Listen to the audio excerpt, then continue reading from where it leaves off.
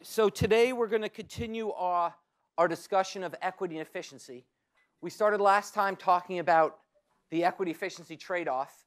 Well, first we talked about why we think redistribution might be necessary and the striking facts on inequality and poverty in the US. Then we talked about the trade off, the equity efficiency trade off, and the fact that when you try to deal with a problem like redistribution through taxation or transfers, you're going to have a leaky bucket. That there's going to be inefficiencies associated with both taxing individuals to raise the money and transferring to individuals to spend the money are both going to cause deadweight loss. So what I want to do today is take that abstract framework from last time, put it in some real terms by talking first about how taxation works in the US and the kind of issues we face in taxing people, and then turning to redistribu redistribution programs, and concluding with a very positive story of sort of what I call a patch to the leaky bucket and how we can redistribute in a very efficient way. So let's start by talking about taxation in the US.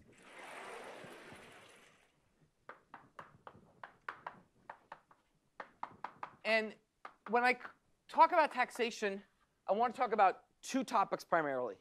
The first topic is who bears taxes?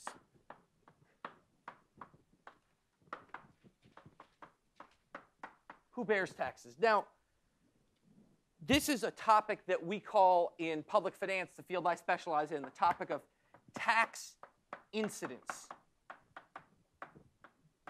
Now, you might think this is sort of a silly question. I mean, if you pay tax, you bear the tax. Why is this an interesting question? And the answer is it's an interesting question because it's not true that the person that bears the tax pays the tax. That in fact, when you impose taxes, they have complicated effects on multiple parties because of the operation of the market. Okay? So as a result, the party that actually sends the check to the government may not actually bear all that tax. And so that's sort of the interesting insight we'll start with today. So to think about that, let's go to figure 22.1 and let's think about a tax, the market for gasoline. Okay, you've got demand and supply. You've got an initial 100 billion gallons of gas being sold at a price of 150. Those were the days. Back when gas was 150. Okay? Now, imagine the government comes in and says, we're going to levy a 50 cent tax per gallon on the suppliers of gasoline. So the gas stations or the gas companies or whatever, for every gallon they sell, they will send us 50 cents. You literally cut a check to the government 50 cents for every gallon you sell. What does that do? And you might stop there and say, okay, well, then the incidence of that tax is that tax is borne by producers. That's great. I don't have to worry about it. I'm buying gas. It's those guys selling gas who have to bear it. But you'd be wrong. And the reason you'd be wrong is shown in the right hand side diagram, which is to think through the market effect of such intervention. What does intervention do? Well, it has no effect on the demand for gas. Okay, the, the fundamental demand curve. Your underlying utility of, it, of the marginal gallon of gas hasn't changed. But it has changed the supply curve because essentially we've introduced a new marginal cost. The marginal cost of gas has gone up by 50 cents a gallon. Every gallon of gas you produce and sell now bears an extra 50 cent cost. So that's a shift upward of the supply curve. Remember, the supply curve is the marginal cost curve. So if I increase the marginal cost, cost of every gallon by 50 cents, that's literally just a parallel shift upwards in the supply curve. So supply curve shifts from S1 to S2. That's the new supply curve. Well, at that new supply curve, you cannot continue to charge the old price. If you continue to charge the old price of $1.50, people would still want to buy 100 billion gallons of gas, but companies would only want to sell 80 billion gallons. Why? because the marginal cost has gone up. And we have an upward sloping supply curve, so at a higher marginal cost, they're going to want to sell fewer gallons. Okay? So you have a disequilibrium. What happens is that the gas company adjusts by sliding up the supply curve to the new equilibrium point D, where they sell 90 billion gallons at a new price of $1.80.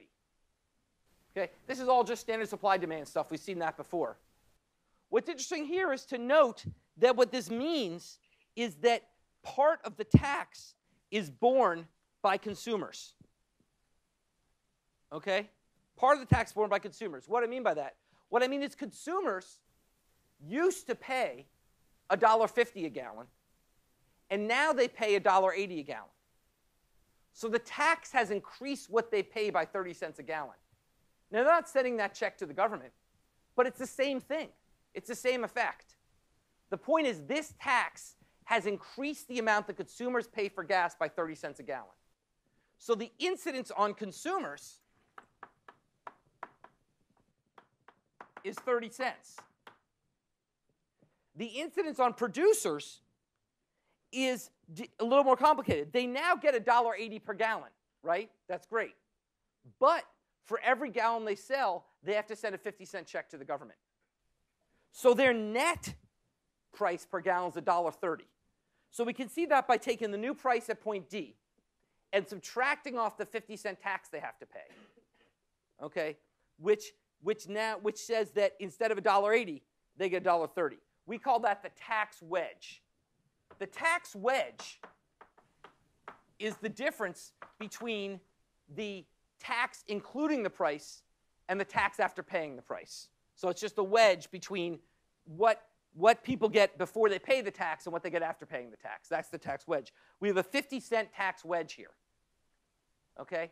And so, what is the burden of the tax on producers? Well, they used to get $1.50 a gallon. Now they get $1.80, but pay 50 cents to the government. So the burden on the producers is 20 cents.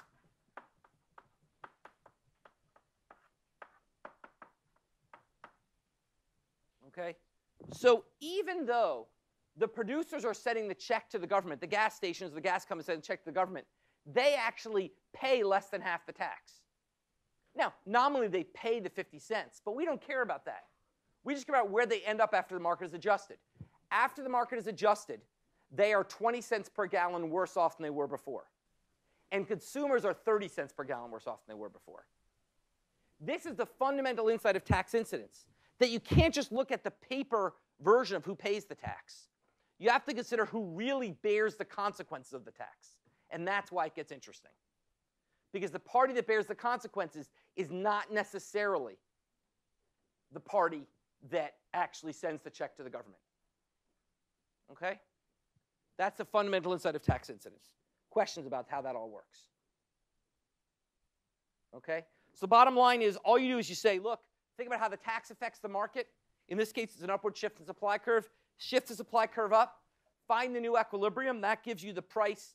That gives you the new equilibrium price. And then the burden on the party not paying the tax is the difference between the new price and the old price.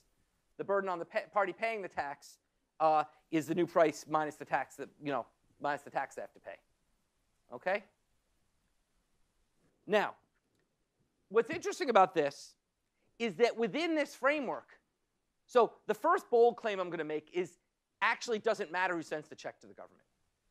The first bold claim, or, or let me say what, the first bold claim I'm going to make is that the, the amount sent on the check to the government is not the amount you actually bear of the tax. The amount you bear of the tax comes out of this analysis. Here's the second bold claim I'm going to make. It doesn't matter who sends the check to the government. If you impose the same 50 cent tax on consumers of gas in the same market, you get the same outcome. How's that possible? Well, let's look at figure 22.2. Now we have a different tax.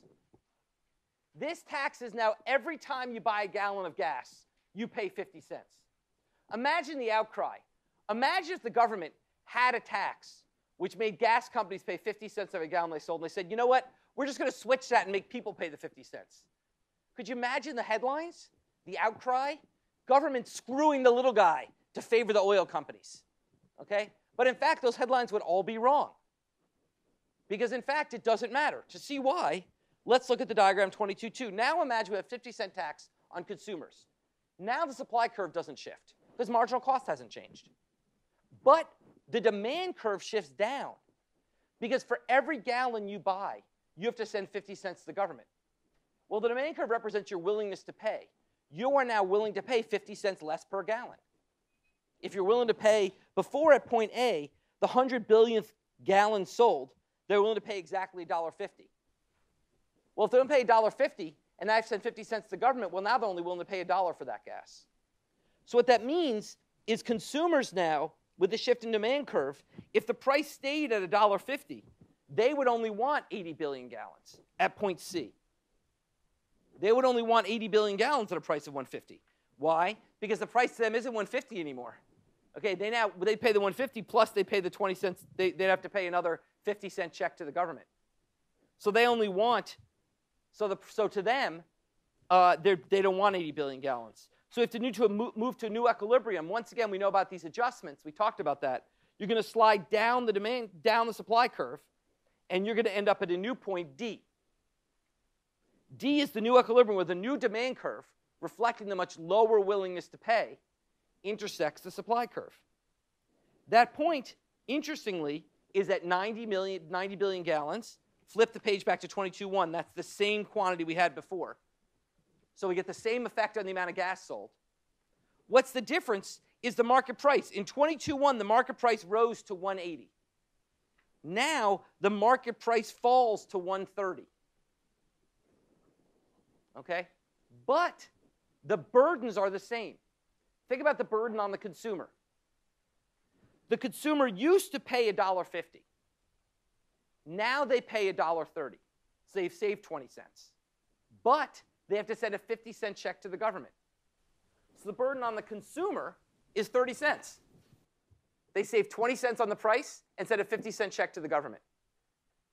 What's the burden on producers? Well, the producers used to get $1.50. Now they get $1.30. So what's the burden on producers? 20 cents. Same as before.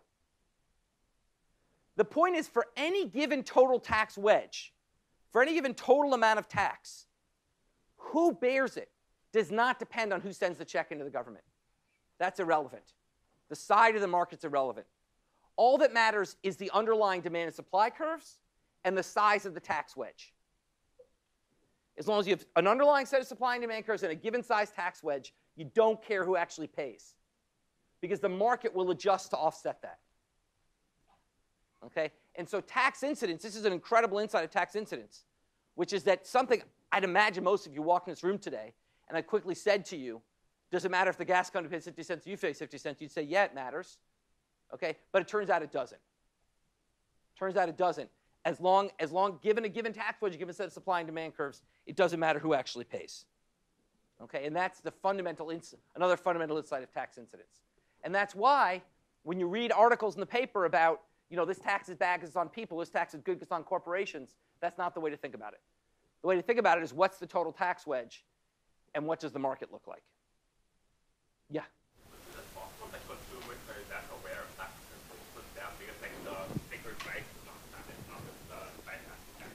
Excellent point. All of this, of course, is within our standard 1401 framework. Once you depart from that, for, by the way, it's also true even if there's monopoly and stuff. That's still true. So this does not depend on perfectly competitive markets. This is also true in non-perfectly competitive markets.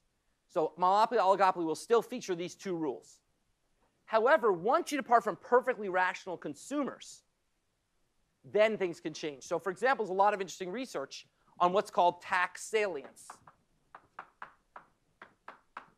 And as I said, since I won't have time for a lecture on behavioral economics this semester, I'm going to throw some behavioral economics nuggets at you. But if you find this interesting, take 1413. It's really exciting. And here's a kind of insight, which is what if people pay attention to taxes when it's in the price, but not when it's rung up at the register?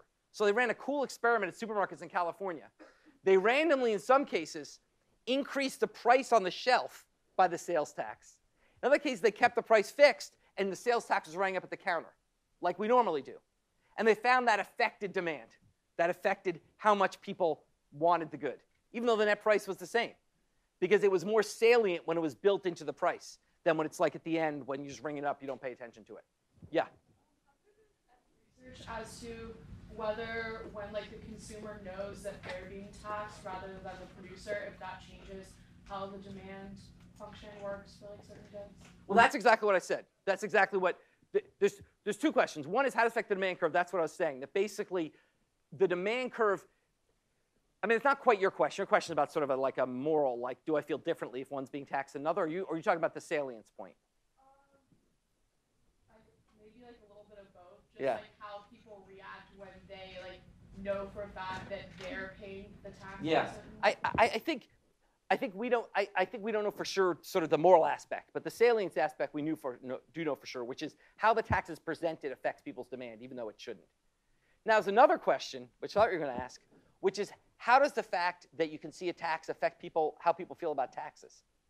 So here's a super cool study my colleague Amy Finkelstein did. You guys know about Easy E-ZPass, the thing on the highway where you. Okay, so when states moved, it, when I was a kid, you used to wait online and pay cash to get through the tolls. Okay, now you just drive through with your E-ZPass. So what's happened is it made the tax less salient. Right? It used to be you'd feel pain every time you go through the toll. Now it's just some bill you get at the end of the month. What she found is when states switched to E-ZPass, they rapidly raised their taxes on roads. They raised their tolls because people didn't mind as much, so they could raise them more. So there's sort of an interesting politics aspect to this, uh, to this as well. So this matters. Having said that, I'm going to ignore it, but this stuff does matter, and that's why behavioral economics is fascinating. Okay? Now, there's a third point I want to make about taxes. So I talked about who bears taxes. I talked about the side of the market. Side of the market is irrelevant. And then the third point I want to make about taxes is it's all about the elasticities. Which is who bears a tax for a given tax wedge. Who bears the tax is all determined by the elasticities of supply and demand curve. Okay? And in particular, inelastic parties get stuck with taxes, while elastic parties avoid taxes. So inelastic agent, inelastic firms, inelastic consumers they get stuck with taxes. While elastic, elastically supplied firms or elastically demanded goods, they avoid taxes. So to see that, let's look at figure 22.3. Okay? Let's go back to our tax on the suppliers of gasoline. Once again, I hope you know by now it wouldn't matter if we did the demanders of gasoline. But it's a little easier to see with suppliers of gasoline. Let's go back to our tax suppliers of gasoline. So we have a supply curve that's been shifted up by 50 cents. Let's consider two markets one with perfectly inelastic demand, one with perfectly elastic demand. In the market with perfectly inelastic demand, we used to sell 100 billion gallons at a price of 150. Now we levy a 50 cent tax on suppliers. Where do we end up? We end up still selling 100 billion gallons of gas. You have to, because it's inelastic. Well, if you're going to still sell 150 gallons of gas, then the suppliers can't bear any of the tax they have to be able to fully pass the tax on to price. That is, they have to be able to charge $2. Think of the logic. Suppliers have to be on their supply curve. The supply curve is just shifted up by 50 cents. Therefore, if you're going to sell the same quantity, the price must go up by 50 cents. So in that case, who bears the tax? Who bears this tax on gas? Don't raise their hand and tell me. Yeah. Consumers bear all of it, right? Consumers bear all the tax, suppliers bear none. The supplier, you said, you're sending a 50 cent check to the government, but you're getting 50 cent higher price. So you don't care. Okay? Insert 50 cent joke here. Into gas? I don't know how you do a 50 cent joke. Whatever. Okay. So so you um so you so you don't care. Okay? Now let's flip the case. Let's imagine demand for um, demand for gas is perfectly elastic. Okay? Now, the supply curve is shifted up by 50 cents. Okay? Supply curve is shifted up by 50 cents. Now, what happens is consumers say, look, I don't care how you feel, Mr. Supplier. I'm not paying more than $1.50 for gas. I have perfectly elastic demand. Supplier has no choice then but to eat the whole tax. Because if they try to pass any of it on to the consumer, the consumer will bolt. So the new equilibrium is that the, where the price stays the same of $1.50 and the quantity falls. In this case, the producer bears the whole tax. The consumer pays no more than they did before. The gas company gets the same price they did before, but has to send a 50 cent check to the government. So the entire burden is borne by the producer. What is going on? Why, do, why with inelastic demand, what's the intuition here? For why with inelastic demand, consumers end up getting stuck with the tax. And with elastic demand, consumers avoid it. Yeah? Demand, consumers are willing to pay any price. So if the producers want to put all of the tax on them, they can, and consumers can't do anything about it. But if you have perfectly elastic demand, um, then they can go anywhere else to get um, gas at 150. So if you raise your price, then they're just not going to buy anything. Right, exactly. I like to think of this as a very good explanation. I like to think this in terms of almost like negotiating power. It's not the right way to think about it. I think it's a useful intuition. That when you've got inelastic demand, you've got nego- no negotiating power. You just want insulin. You're going to pay anything for insulin. So the supplier knows that, so he's going to make you pay the whole tax. It doesn't matter if you send the check to the government, he sends the check to the government, he's going to pass the whole cost to you. But if you think about fast food, if you think about a tax on hamburgers, if you charge a penny more for hamburgers, I'm going to buy a hot dog or a slice of pizza, then the supplier knows they're screwed. They have no leverage. You have all the leverage, you have all the negotiating power, so they can't raise the price on you. So the bottom line is inelastic factors get stuck with taxes, and elastic factors avoid taxes. Okay? And that's sort of the other lesson we get here as we think about, uh, uh, uh, about, about taxation. Okay? So at the end of the day, all that matters, if you think about any tax being imposed in the US, it's never as simple as just a gas tax, often a complicated giant set of taxes. If think about simple, a single tax, all you need to know is the elasticity of supply and demand and the size of the tax, and you're done. You can figure out who bears the tax. Okay? And the Congressional Budget Office, for example, does these exercises all the time and has estimates of how given tax changes will affect uh, the income distribution as a result. Okay? Now, um, and actually, there's a pretty cool study of this. Let me ask the question.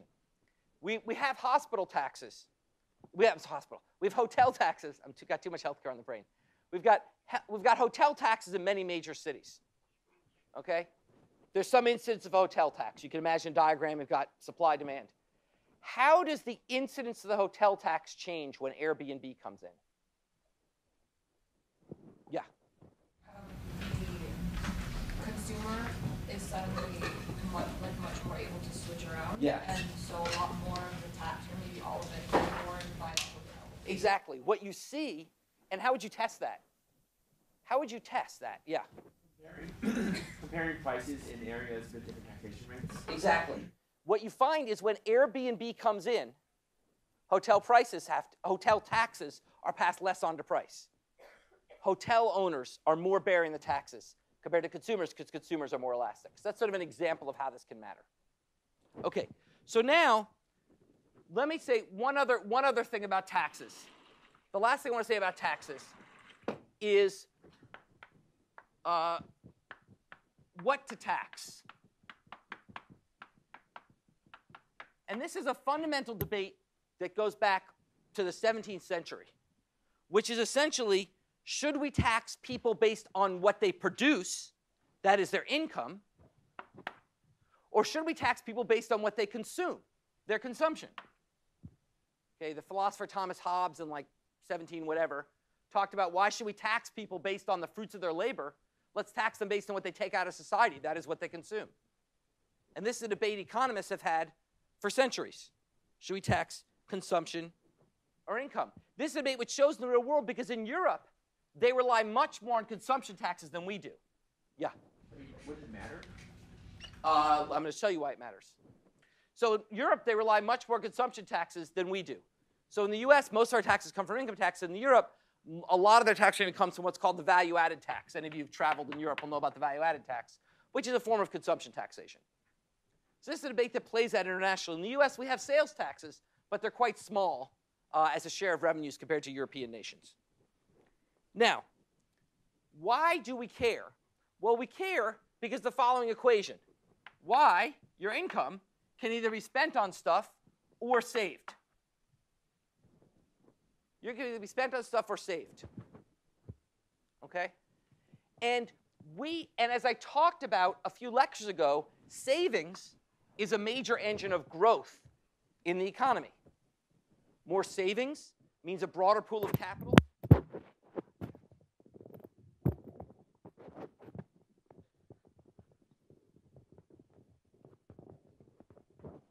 Means a broader pool of capital, which means a lower interest rate, which means firms can invest more. So we like promoting savings in the long run. In the short run, a recession may feel differently, but in the long run, we like having more savings. So for the long run, we like having more savings. If you tax income, you tax both my consumption and my savings. If you tax my consumption, then you don't tax my savings. That is, you relatively favor savings over consumption. You promote people to save rather than consuming. Okay? So that's why many economists, I think probably if you did a poll of economists and said, should we tax income or consumption, the majority would say consumption. And the reason they would give is because we need, to, we need more savings in society, and we need to promote that. Yeah. Would it be equivalent to um, taxing income and then giving a tax break for saving? That would be identically equivalent. If you give a 100% tax credit for all of your savings, that'd be identical. Now, in the US, we have some partial credits like that, but far from 100%. Okay? So the question is what's the counterargument? Well, the counterargument is all about fairness, which is that it turns out that the rich save and nobody else does. Basically, almost all the savings in society is done by the top, probably 10% of individuals in society.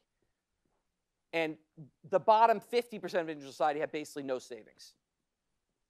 So essentially, what this means is for most Americans, for the typical American, this debate is irrelevant because they have no savings. They tax their income, they tax their consumption, it's the same thing. For rich Americans, it'd be a much better deal to tax consumption because they have savings that then wouldn't be taxed. So the problem with the consumption tax base is be a mean a massive redistribution from the poor to the rich because the rich folks do the savings. Now, there would be a simple answer to there would be an answer to this. We could answer this because ultimately, right, the rich folks die. It doesn't matter how rich they are, they die eventually. Okay? And if at that point we taxed all their savings, we could then equalize things. So, in other words, if we took all the money that was left, let's say we had this consumption tax, but we counted as consumption the money you left behind when you died, then it would solve the problem because the rich would have, during their life, they'd pay less tax, but they'd pay it all at the end. But the pro- so, but that so that's why such we have such a critical debate in this country over the estate tax or the so-called death tax. Okay, this notion of sort of whether you should be taxed on their estates becomes very important for thinking about this. If we had an estate tax was literally at the same rate as all other taxes, then we could move to tax and consumption. It, it, it would be the same. In fact, we would essentially have a consumption tax at that point. Okay, but in fact, we have an estate tax that is paid by the top point is paid only by the top 0.04% of people who die each year. Um, and it's paid on only a fraction of their assets. So we don't have that. So that's why the fairness sort of debate comes in. Okay? So I just want to point out just another, these are all just sort of topics I'm hitting to sort of whet your appetite. These are sort of interesting things we need to think about when we think about how to set up our tax systems.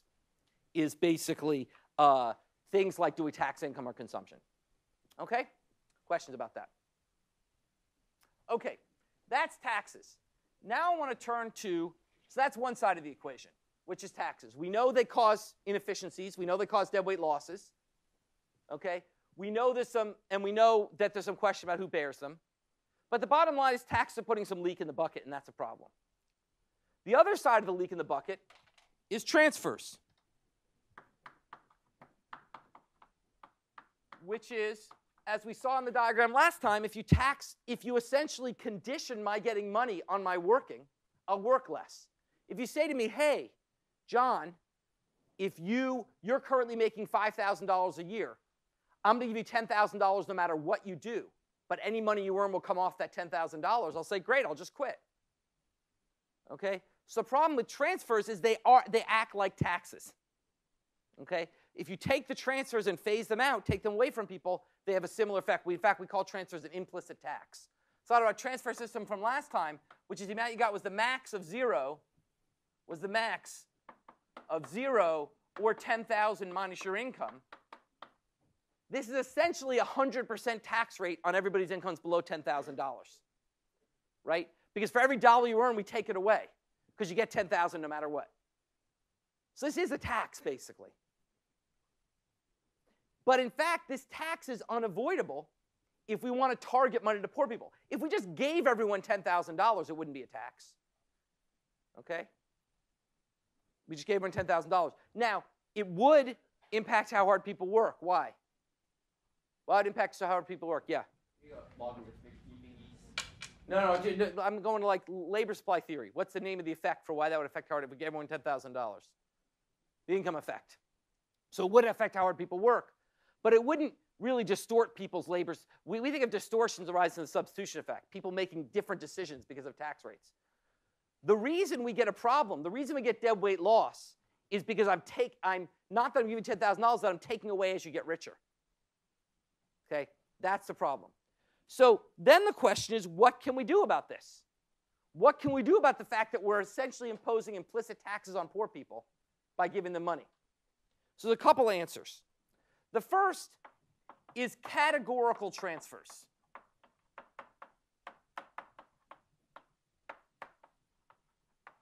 That is, instead of giving the money to everybody, just give it to deserving populations.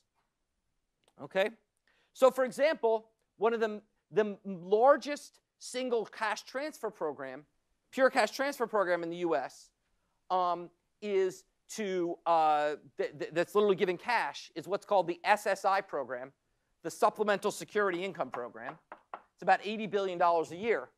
And what this does is give cash grants to low income families that have disabled children. So it's not just that you're low income, but that you have a disabled child in your house. Okay? Likewise, we have something called the TANF program, which is what is traditionally called, you know, I've used the term welfare in this course to mean well being. Traditionally in America, when you say welfare with sort of a sneer on your face, you're referring to TANF. Okay? TANF is cash grants to low income single family, single parent households. Essentially, if you're low income and you're a single mom, typically, uh, you get uh, a grant from the government. Now, the question we've always asked is why do we impose these conditions? Why do we make people disabled? Why do we make them be single moms? Why not just give them the money? Why not have this? Why have these other conditions? And the answer is because that basically we think this is a way of reducing the distortion that arises from transfers. Think of it this way Imagine all of us were born with on our forehead an unremovable tattoo that said hardworking and lazy. No, let's not do that. Different thing. Let's do low, low, low skill and high skill. Okay? And that, so I know your underlying ability. Then I would simply say, look, if you're high skill, you don't get any money.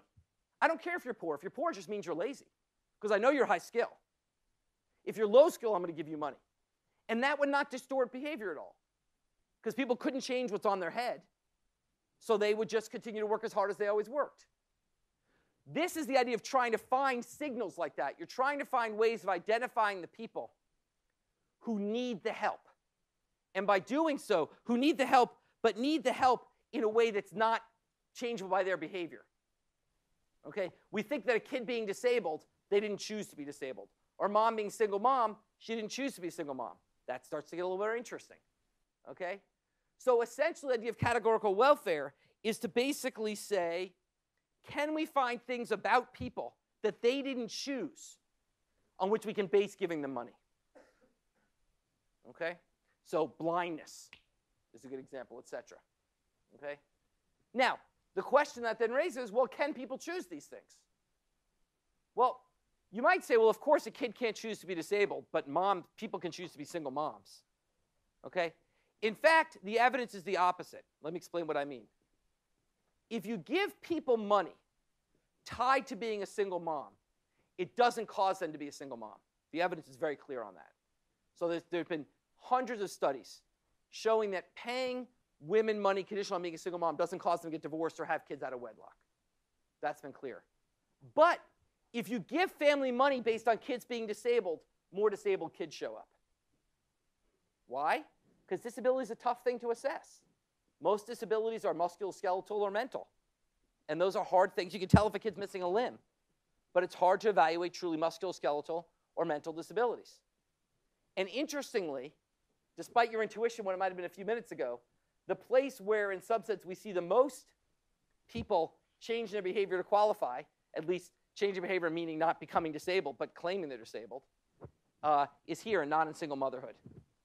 So categorical transfers help, but not as much as you might think because the categories are hard to measure. Okay? And that's why another tool we've used to try to get at this is in kind transfers.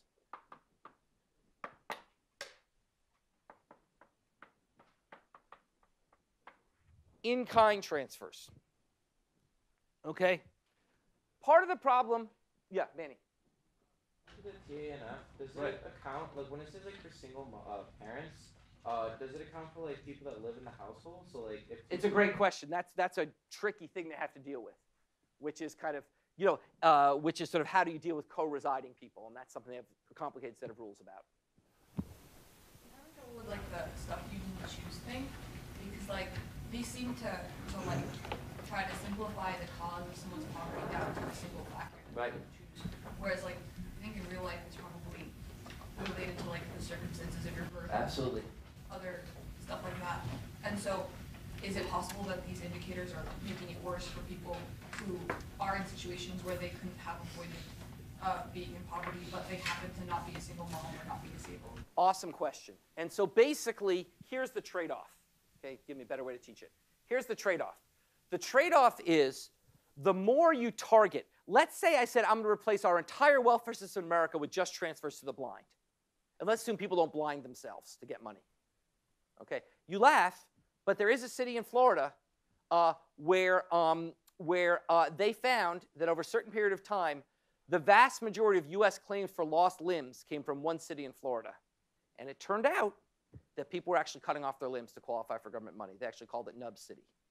So uh, you laugh, this stuff does happen, but by and large, we assume it doesn't. Okay, so let's say I want to replace the entire U.S. welfare system with, uh, with one just for people who are blind. On the one hand, that would be great because you wouldn't cause any distortion. People wouldn't worry, work any less hard because you can't change whether you're blind.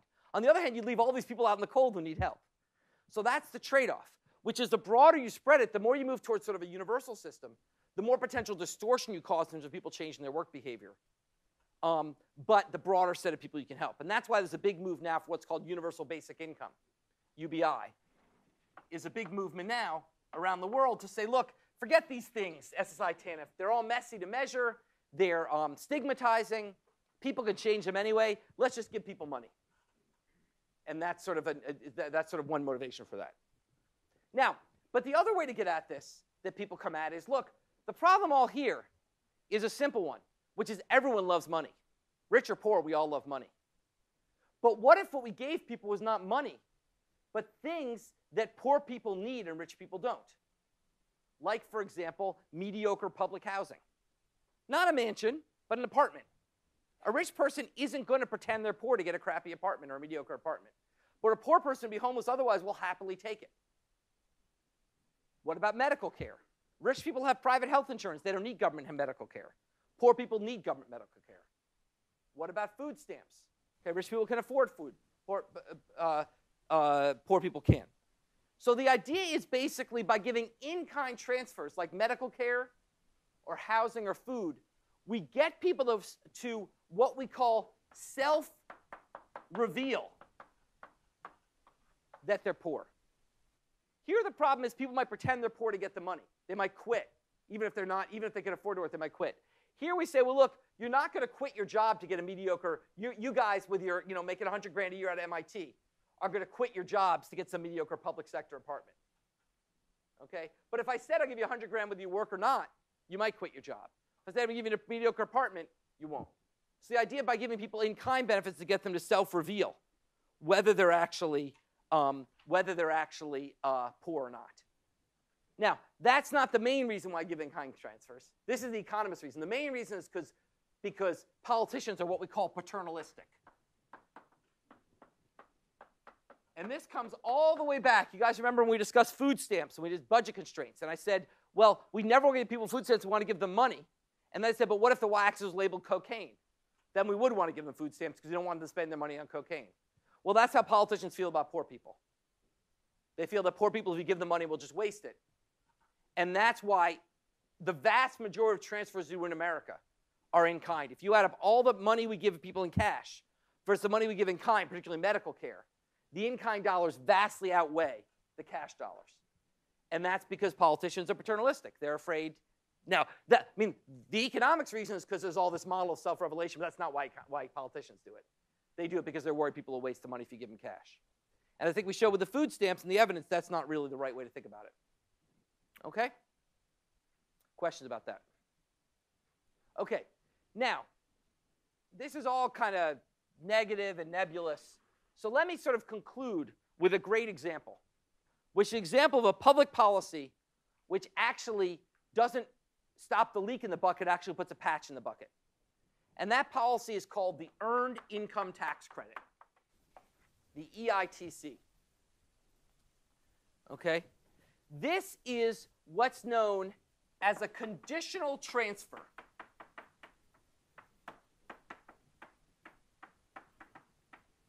What that means is it's a program where you get money, but the money you get is a function of how much you make up to a point. So it's actually the other way, the other thing the even called is a wage subsidy.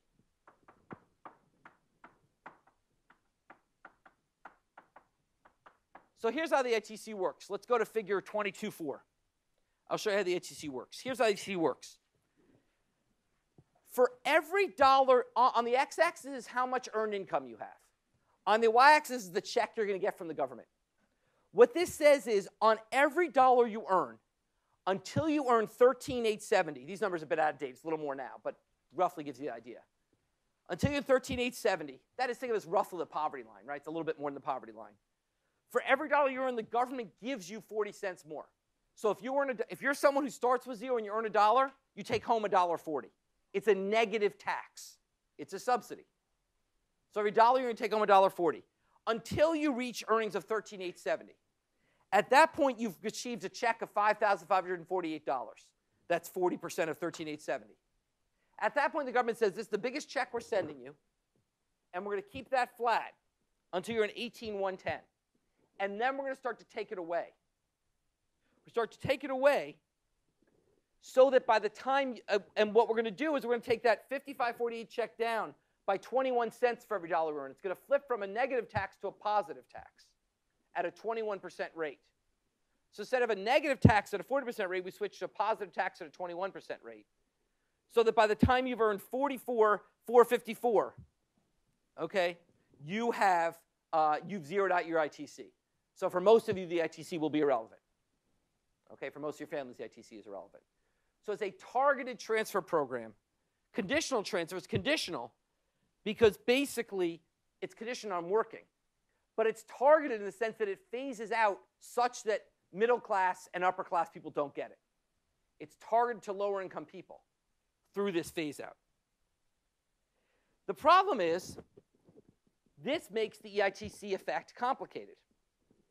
So let's consider let's consider the three segments of this graph. Let's start with the first segment.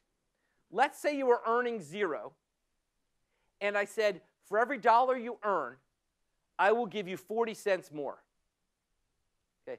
What effect does that have on your labor supply? Starting from 0. Yeah. work more because uh, the substitution effect can make you work more because if you're just having a lot of leisure, it's going to cost a lot more. Substitution effect will make you work more because essentially we've raised the price of leisure by 40%. What about the income effect? There is no income effect. So the point is for someone at zero, this unambiguously increases their labor supply. So if you take guys who aren't working, this definitely will, I mean, it might be a zero effect, but it's non negative effect on labor supply.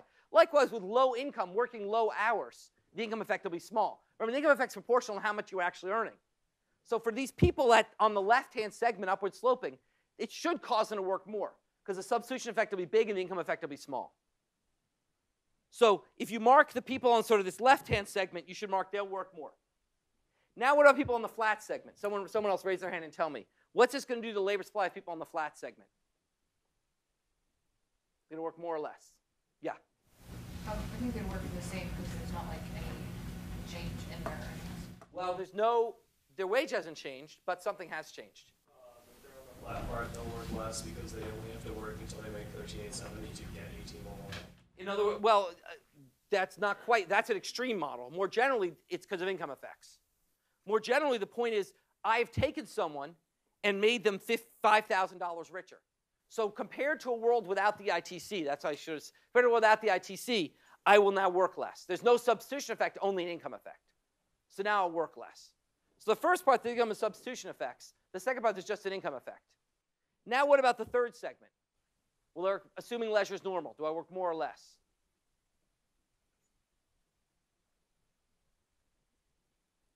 They work more or less, assuming assuming leisure's assuming leisure's normal.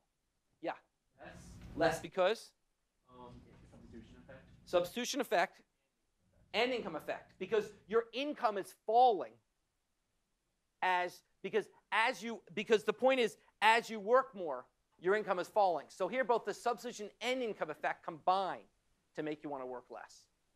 So if you look at this graph this doesn't look very promising. On the left we've got a bunch of guys working more.